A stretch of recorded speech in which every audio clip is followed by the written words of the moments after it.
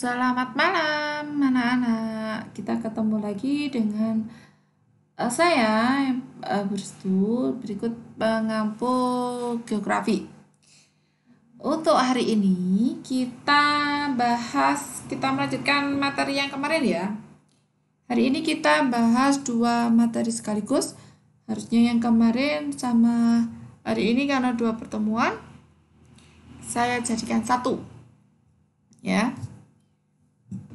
Kita lanjut ke tema modul 12 menata wilayah kehidupan. Nah, kemarin kalau yang sudah baca eh, Indonesia masa depan bangsaku. Indonesia sudah dibaca dan sudah dikerjakan. Kita review dulu sebelum kita masuk ke menata Indonesia semakin maju ya.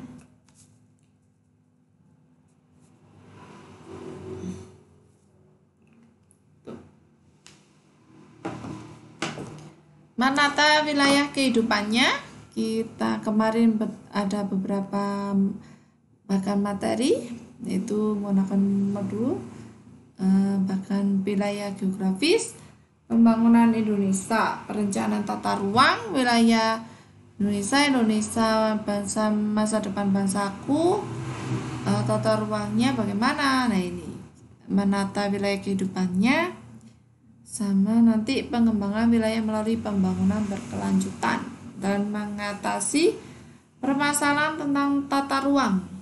Tata ruang Indonesia. Itu ada beberapa yang dibahas yang kemarin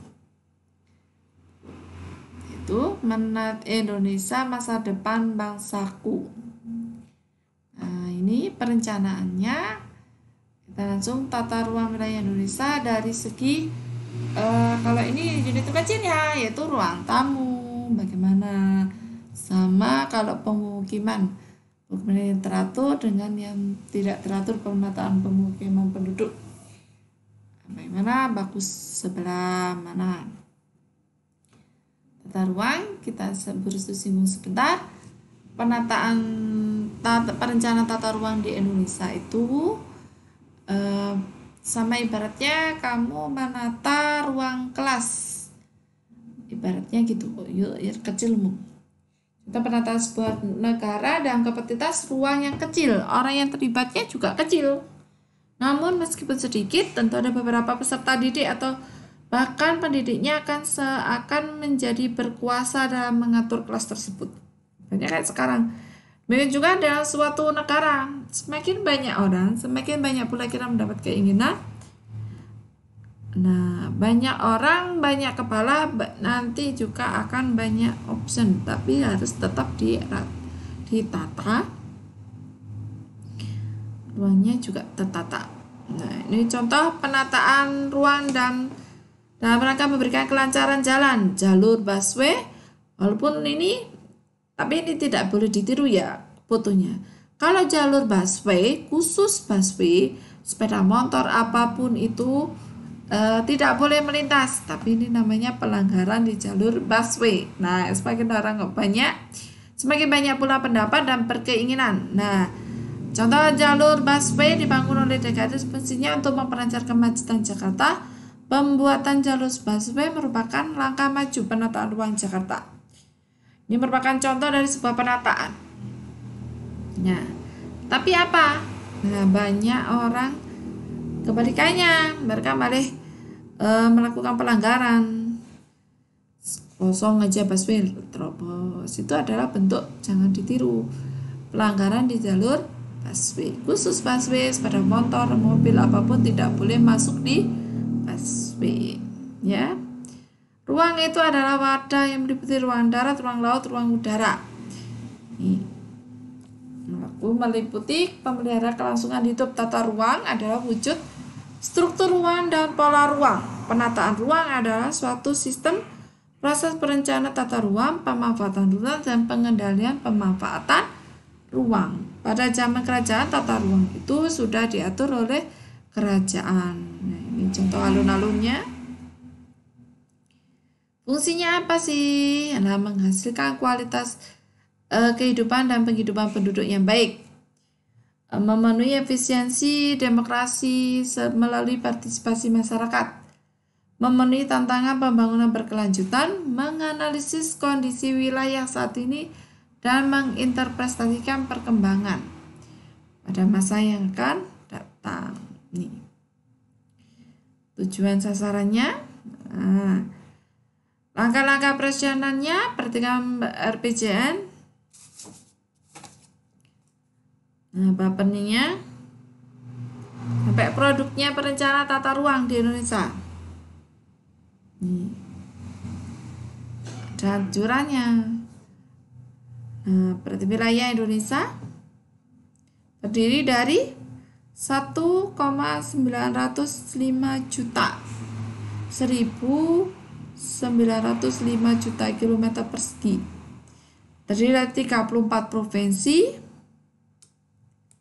kabupaten pulau kabupaten nah, memegang otonomi daerah masing-masing. Nah, perencananya juga harus memperhatikan RT RWN ya. Rencana tata ruang wilayah nasional. Arahnya. Terus kalau provinsi RT RWNP. Rencana tata ruang wilayah provinsi. Kalau kabupaten atau kota namanya RT RW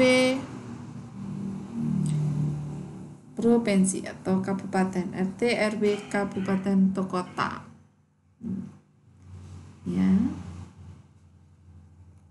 Terus wilayah geografis pembangunan. Nah wilayah geografis pembangunannya ada beberapa. Satu dua ini. Ini sudah dibagi-bagi lagi. A Medan Aceh dan Sumatera Utara. Ada satu dua ini ada pembagiannya, ada delapan. Nah, ya. Pembangunan utama A, B, C, D. Nama kotanya apa? Medan, Jakarta, Surabaya, Makassar. Empat kota yang menjadikan pusat pertumbuhan. Wilayahnya ada sekarang jadi eh, 10 1, 2, 3, 4, 5, 6 ini sudah terbagi-bagi sendiri. Hmm. Pusat pertumbuhannya di mana? Pusatnya Medan, Pekanbaru, Palembang, DKI, Pontianak, Surabaya, Samarinda, Balikpapan, Makassar, Manado, Sorong. Oke, ini sudah. Peristiwanya singgung. Kalau kalian sudah uh, mengerjakan latihan soal. Kita lanjut. Ya halamannya. Kita lewati. Kita bahas menat unit 2 menata Indonesia semakin maju. Jadi ditata Indonesia-nya itu biar semakin maju. Pernah memperhatikan berita di media sosial? Musim hujan? Eh, datang banyak kota di Indonesia mengalami banjir Jakarta Bandung, Medan. Nah, ini wilayah Papuanya. Hari hirup itu keramaian. Banjir Padang.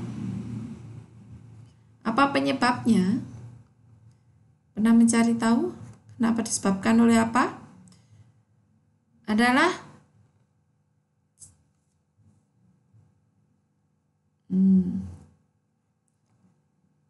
banjir di kota-kota disebabkan oleh permasalahan lingkungan. Berbagai faktor, di antaranya apa? Penerapan tata ruang yang kurang baik. Nah, ini yang disalahkan siapa? Tata ruang memang tidak gampang harus melibatkan berbagai pihak dan kepentingan. Tetapi satu yang harus disepakati bahwa tata ruang itu sekedar pemenuhan hari selainkan uh, kebutuhan bermanfaat dari jangka panjang. Nah, ini harus dipikirkan. Ya. Nih, gambar perbedaan geografis dari berbagai daerah berbeda. Nah, lanjut. Rencana tata ruang itu memuat struktur pola ruang. Struktur pola ruang merupakan sistem pusat pemukiman dari dan sistem jaringan prasarana diperuntukkan untuk kawasan lindung dan kawasan budidaya. Perencanaan tata ruang Indonesia itu ada tingkat tiga tingkatan. Yang pertama, rencana tata ruang nasional provinsi kabupaten. Rencana tata ruang yang dibuat oleh tiga tingkatan pemerintah Indonesia seharusnya sesuai dengan satu sama lain. Pemerintah pusat mengembangkan rencana nasional tata ruang RT RWN. Nah, ini mendel mendelinisasi daerah lindung untuk kawasan lindung dan budidaya untuk pembangunan. Itu jangka waktu 25 sampai 50 tahun. Ini ada jangkanya. Nah, kita lanjut. Nah, hambatan apa yang dihadapi dalam penerapan perencanaan tata ruang di Indonesia? Itu yang pertama, pemanfaatan pengendalian ruang belum efektif. Nah, permasalahannya apa? Permasalahan perencanaan tata ruang di setiap daerah masih belum dapat diselesaikan dengan baik. Berbagai bentuk perencanaan tata ruang seperti rencana zonasi masih dalam bentuk proses pembuatan di daerah perencanaan. Akibatnya proses penataan ruang selanjutnya yaitu pemanfaatan dan pengendalian tata ruang mengalami hambatan. Contoh, banyak lahan pertanian subur yang dibangun perumahan. Sementara lahan tandus yang gersang dibiarkan begitu saja. Lembaga penyelenggaraan penataan ruang belum efektif. Nah, belum masih belum efektif. Sistem informasi penunjang pembangunan juga belum optimal. Potensi konflik pemetaan ruang masih tinggi. Jadi banyak masih terjadi di daerah-daerah itu masih rawan konflik. Terjadi karena apa? Tata batas kawasannya secara detail. Contoh, hutan lindung banyak digunakan masyarakat untuk pemukiman. Akibatnya apa? Ketika hujan lebat banjir dan tanah longsor lah yang datang menerjang. Ini contoh beberapa demo konflik eh, demo beberapa konflik pemanfaatan ruang yang belum selesai dengan baik Contoh reklamasi di pantai Jakarta. Masih banyak konflik antara pengembang proyek, reklamator, Pemda, dan rakyat. Konflik yang belum diselesaikan inilah yang menghambat penerapan tata ruang wilayah. Contoh lain yang belum terselesaikan adalah pendirian pabrik semen di Rembang Ini pendiriannya pabrik semen memunculkan aksi demonstrasi yang berujung pada kematian. Hal ini terjadi karena untuk mengantisipasi terjadinya konflik pemerintah dan rakyat dalam perencanaan sebuah tata ruang. Hmm. Termasuk rakyat. Nah, kesenjangan antar wilayah Indonesia. Hmm.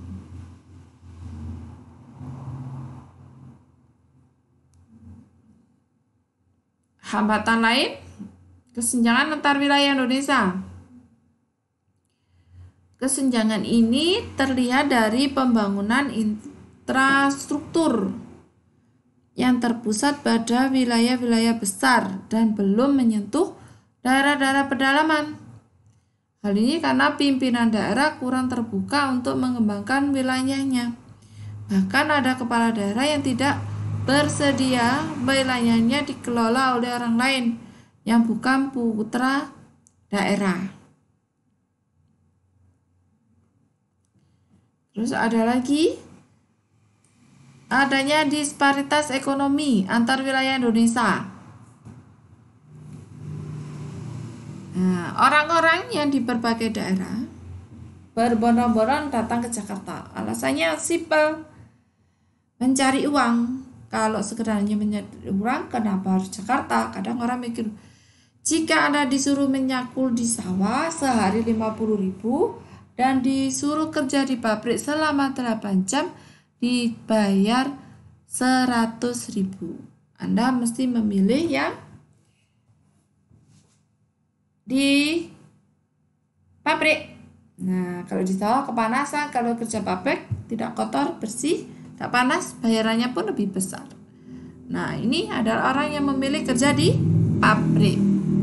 Penghasilan UMR kemudian memenuhi kebutuhan hidup.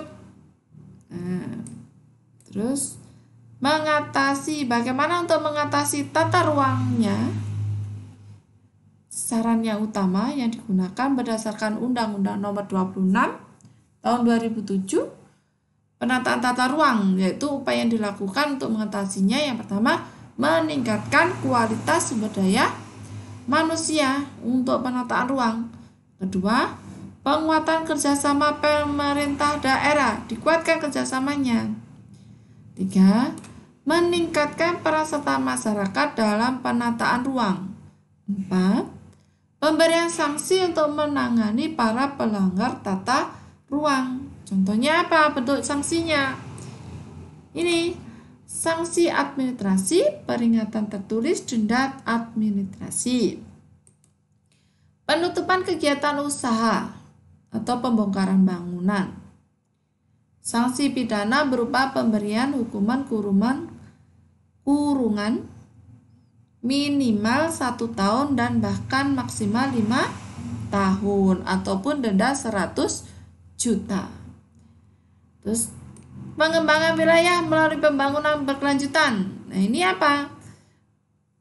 Proses pembangunan baik pengelolaan lahan, penataan pengolahan pengembangan ruang bisnis, penataan pemukiman masyarakat serta berbagai pembangunan lain yang berprinsip memenuhi kebutuhan sekarang tanpa mengorbankan pemenuhan kebutuhan masa depan. Itu harus tata ruang yang baik itu adalah pembangunan berkelanjutan tidak sekedar untuk mengembangkan wilayahnya tetapi lebih diarahkan pada penataan kelestarian lingkungan. Sini apa? Nah, harus menghasilkan. Nah, prinsip-prinsipnya bagaimana? Pemerataan ke keadilan sosial.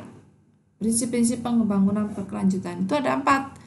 Menghargai keanekaragaman, pendekatan integratif, restriktif dan pada jangka panjang, termasuk pemerataan keadaan sosial. Nah, itu prinsipnya. Nah, tujuan dari pembangunan berkelanjutan itu untuk apa? Berkelanjutan ekologis atau jaminan eksistensi sumber daya alam. Berkelanjutan ekonomi, efisiensi ekonomi berkelanjutan sosial atau keanekaragaman budaya. Target yang tidak dicapai dituangkan dalam istilah Sustainable Development Goal. Nah, milenium programnya diselesaikan. Dari itu, SDGs adalah reaksi aksi global yang disepakati oleh para pemimpin dunia, termasuk Indonesia, guna mengakhiri kemiskinan, mengurangi kesenjangan, dan melindungi lingkungan. EDGS ini akan diharapkan akan terwujud pada tahun 2030. Permasalahan yang sering dialami pembangunan berkelanjutan adalah kemiskinan Indonesia yang paling masih tinggi masih terdapat keterbatasan akses pangan serta banyaknya kerusakan lingkungan. Contoh, masalah apa yang sering dialaminya? Kemiskinan. Berdasarkan BPS, jumlah penduduk Indonesia di miskin, penduduk miskin di Indonesia pada Maret 2019 mencapai 25,14 juta. Penduduk Indonesia masih banyak yang miskin. Nah, ini arah pembangunannya juga semakin sulit. Belum lagi masalah kemiskinan ini masih ditambah dengan rendahnya tingkat pendidikan serta pendapatan penduduk. Nah, ini masalah utama. Terus banyaknya penduduk yang miskin juga berdampak berbagai hal yang menghambat pembangunan dari segi sumber daya manusia. Tentu sebagai besar dari mereka harus kurang berkualitas. Nah, bagaimana dengan pola hidup bersih dan sehat? Tentunya mereka banyak yang tidak memperhatikan. Hal ini juga terdapat rendahnya tingkat kesehatan yang akan mempertinggi jumlah kematian. Keterbatasan ak akses pangan. Nah, negara Indonesia dulu terkenal negara agraris. Bekerja di sektor pertanian tanpa terpikir oleh Anda kalau bangsa kita itu masih impor ras, jagung, gula, bawang, kedelai dan masih banyak lagi disebut sebagai negeri pertanian tetapi masih banyak penduduknya yang mengalami busung lapar. Ini ya kenapa? Padahal kita juga eh, negara pangannya bagus, tapi masih banyak yang negara busung lapar. Pemenuhan bahan pangan di Indonesia akses antar wilayah produsen pangan yang kurang mendukung distribusi bahan pangan dari satu wilayah ke wilayah lain itu karena aksesnya yang kurang mendukung mengalami hambat akhirnya pangannya juga harganya mahal. Jadi tidak bisa dikebeli jalannya. Hmm. tapi semakin sekarang mungkin jalan, banyak jalan yang uh, diakses infrastrukturnya juga untuk Pak sekarang Mas dikontorkan jadi banyak-banyak infrastruktur sekarang dibangun. Untuk untuk apa? Yaitu tadi untuk mengantisipasi harga makanannya atau bahan pangannya dapat lebih terjangkau. Jalan tol. Nah memangkas waktu biaya transportasi. Nah Trans Surabaya Trans Trans. Papua Sulawesi. Eh, pengangkutan bahan pangan. Jalan dibuka mempercepat kemajuan Indonesia. Terus kerusakan lingkungan membangun bukanlah merusak tetapi membangun itu justru harus membuat kondisi lebih baik dan bermanfaat. Kenyataannya apa? Sering terjadi pelaksanaan pembangunan yang mengabaikan prinsip pelestarian lingkungan. Akibatnya justru terjadi apa? Kerusakan lingkungan padahal dalam pembangunan berkelanjutan harus mengedepankan kelestarian lingkungan. Contoh, akibat ditimbulkan dalam kerusakan lingkungan adanya banjir badang. Banjir badang melanda Wasior Wajiban ini mengakibatkan penebangan hutan secara serampangan tanpa memberikan keselamatan lingkungan. Nah, sudah? Kalau sekalian sudah paham anak-anak, boleh mengerjakan latihan soal itu halaman 35 sampai halaman 30 7 ya. Sudah? Sarannya berstu karena kalian sudah kelas akhir mohon apabila ada mungkin mapel pelajaran yang dirasa eh, perlu literasi lain atau apa kalian bisa mencari searching sendiri ya atau konsultasi ke gurunya masing-masing. kalau ke gurunya geografi ya ke Bu Restu nanti kalau gurunya bahasa Inggris ke Pak Sarial ataupun ke yang lain ke matematika ya ke Bu kalian tidak harus mengandalkan dalam artian terpaku di buku aja. Kalian bisa mencari literasi lain agar menunjang prestasimu yang lebih baik ya. Untuk hari ini kita dua pertemuan yang lalu dan sekarang kita saya gabungkan dari jadi satu ya. Tetap semangat semoga kita tetap terjaga jadi tetap semangat belajar sampai nanti kita meraih sukses bersama. Sekian. Assalamualaikum warahmatullahi wabarakatuh